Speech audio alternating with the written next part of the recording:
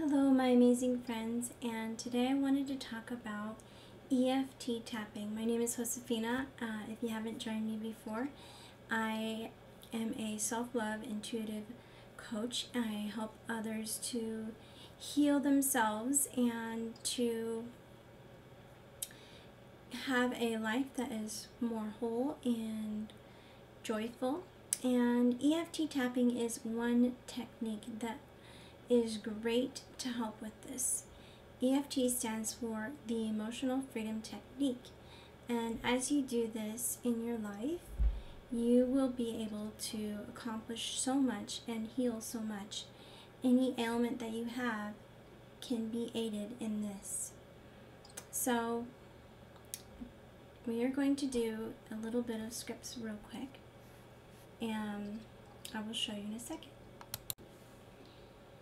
So to do the emotional freedom technique, you need to do any kind of tapping anywhere and say the words that you want to release and then say the words that you want to use to replace it.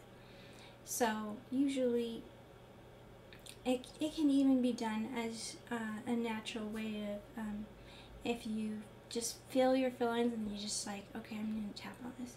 That's fine. But it is really effective if you use your words and think consciously of how you want to change your belief systems. So, for example, um, a lot of people have problems um, during this Mercury retrograde with communicating, um, and that can be all the time. Um, I think communicating is one of the most challenging things in the way that um, two people are communicating and it's not always heard in the way that you want it to be heard or it just could be heard differently. So you could um, start with tapping um, even though and repeat after me even though I'm having such a hard time communicating exactly what I want to say. I totally and completely love, honor, and accept myself this challenge with communicating, if it's frustrating. It makes me feel like giving up when I'm trying to say something and I'm not able to say exactly what I want. So frustrating. It is so invigorating and frustrating. I hate not being able to communicate my thoughts.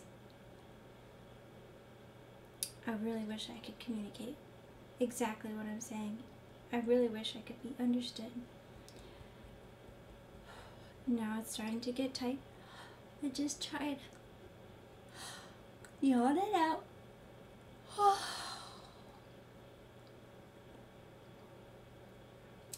now you're going to flood it with the positive replacement. I am learning day by day to communicate. It can be safe to communicate my thoughts. I can allow others to hear what I am trying to say and my intentions. If something doesn't get communicated well, I can go back and re say it a different way.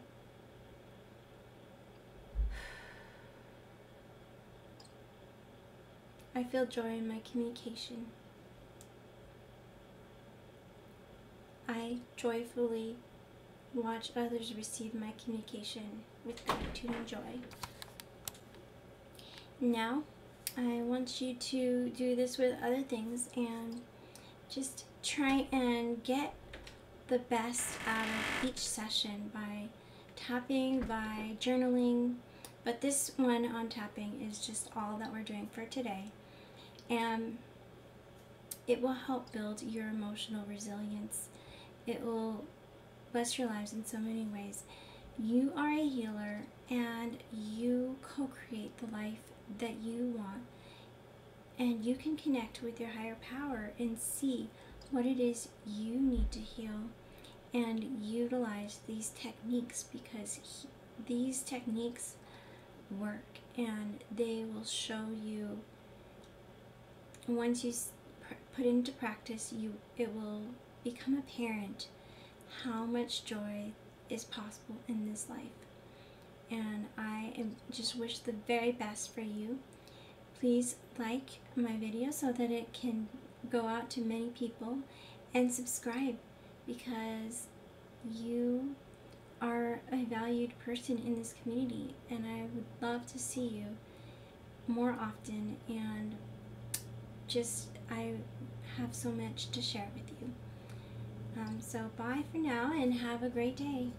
Bye.